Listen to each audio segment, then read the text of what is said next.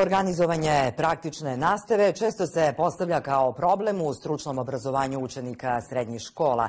Zato je Restorno ministarstvo sa Privrednom komorom, Unijom poslodavaca i Zanatsko-preduzetničkom komorom potpisalo ugovore o unapređenju praktične nastave.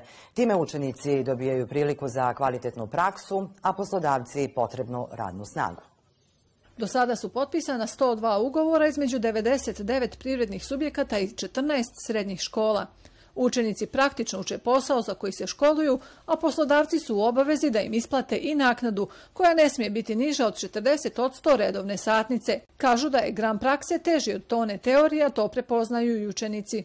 Kako sam krenula svojevoljno, e, sama sam na tome indicirala, jer me sve ono što radimo u školi dosta zainteresovalo da saznam više.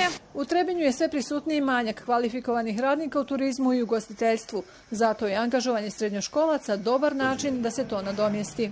Mi trenutno ovdje imamo kod nas jednog, jednog učenika koji je završna godina gostiteljskog smjera i jednog koji je prva godina ovaj, mogu da vam kažem da oni pokazuju jedan zavidan stepen interesovanja. Mladi momci hoće da nauče, ima i kuvara i konobara i tako, mi ćemo da im omogućimo edukaciju koliko oni, onaj, ko hoće da nauči može. Kroz ovakve ugovore sa srednjim školama sve strane dobijaju, škole rješavaju problem praktične nastave, učenici neposredno stiču vještine željenog zanata, a poslodavci potrebne radnike. Mi imamo jako veliku potražnju za učenicima od strane poslodavaca, za učenicima koji e, bi izvodili praktičnu nastavu, e, to su pretežno kuvari, konobari, poslastičari i pekari. Kroz ovakav način rada mogo bi se spriječiti i problem deficitarnih zanimanja.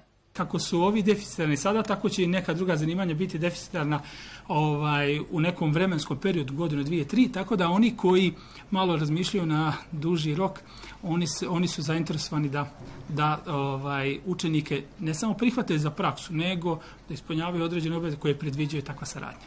Ugovori koje podržava Ministarstvo prosvjete definišu i mogućnost da poslodavci zaposle učenike koji se tokom praktične nastave pokažu kao najbolji nakon što završe školovanje. Tako bi neki od ovih mladih ljudi već mogli prestati da se brinu za traženje posla.